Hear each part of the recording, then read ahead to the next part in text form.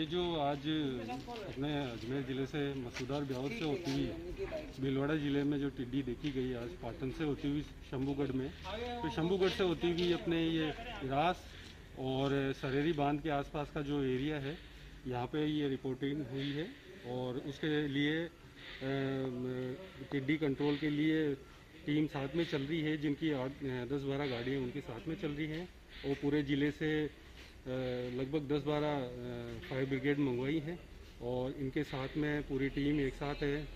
Division से joint director हैं, deputy director हैं ज़िले से और मैं कृषि अधिकारी और यहाँ पे फ़ील्ड स्टाफ जो भी सुपरवाइज़र और डबल हैं, सब साथ में मिलकर गाँव वालों के सहयोग से और उनके द्वारा भी अपने ट्रैक्टर काम में लिए जा रहे हैं और उनको कंट्रोल कर रहे हैं। रात को अभी स्टार्ट कर दिया है तो पूरी रात ये इनको कंट्रोल का कार्यक्रम चलना है।